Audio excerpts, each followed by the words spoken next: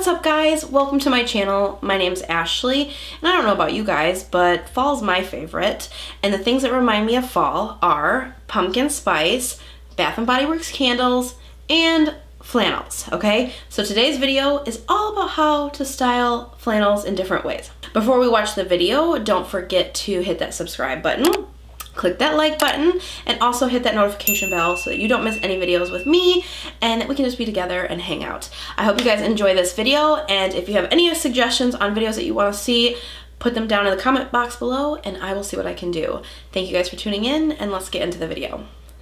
So the first flannel outfit I have is actually a plaid, but you can totally replace it with your flannel. But I took a long sleeve v-neck cotton t-shirt and I placed it underneath the flannel. I rolled up the sleeves and pulled down the sleeves of the t-shirt to give it kind of uh, your old school grunge look. I think it makes the shirt and the flannel pop. And then I tied the bottom of the shirt to give myself a little bit of shape, but you could totally leave the shirt open and unbuttoned, totally up to you. But I think it adds something a little more special when you tie it and just makes it look a little more dressed up.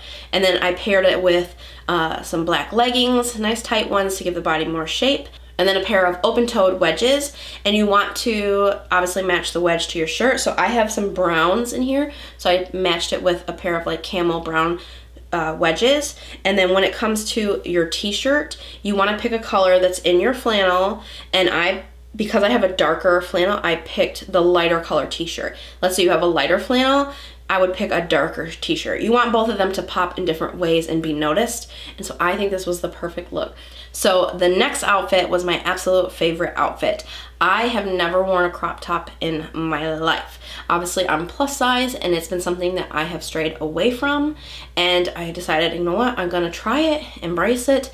I tied up the t-shirt and I just got it from my husband's closet. I didn't actually have a white cotton t-shirt that wasn't a v-neck. I wanted one that was um, like a crew neck tied it up, put on a pair of black ripped jeggings and threw over the red and black uh, flannel and I felt so cute. Like I loved it so much and who would have thought some of my stomach was showing but I did not care. I loved it. It was an outfit that I thought totally would not give me confidence it actually gave me confidence so you guys need to rock whatever you want to and like play around with your style don't worry about things that you think aren't gonna work, test them out and you might be surprised because I was pleasantly surprised. I loved it. You guys let me know what you think as well.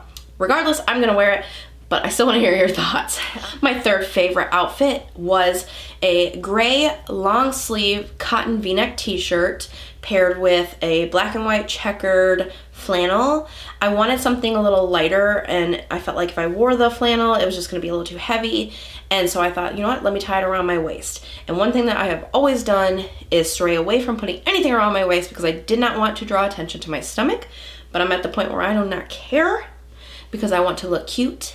I felt good, okay? Pair that with some dark wash jeans and a pair of black boots and you are ready to go, honey, okay? So I love that outfit as well. I think it was a win, and I wanna know your guys' thoughts as well.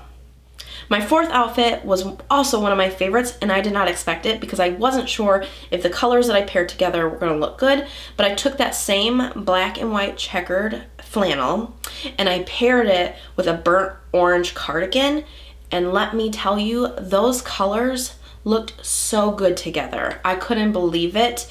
I was in love. I paired it with also a dark wash jegging and that same open-toed brown wedge that I wore in one of the other outfits. It was pure perfection. I loved it so much. I felt kind of like teacher classy. I don't know. It was just really cute. It's it's cute and simple. And when I first put it on, I had originally tucked in the shirt and I didn't like how that looked. So then I untucked the shirt, but I didn't like that either. So then I stuck one side of the shirt in and tucked that in and left the other out. And I think it looks so trendy and very Pinterest-esque look, you know? So you guys let me know what you think. I love that outfit. I loved every outfit. And you probably heard me say love, love, love every time because I loved every outfit. I hope you guys enjoyed that video so much. I had so much fun doing it and I love sharing these things with you and I just thank you guys for tuning in. Don't forget to subscribe and I will see you guys in the next video. Bye.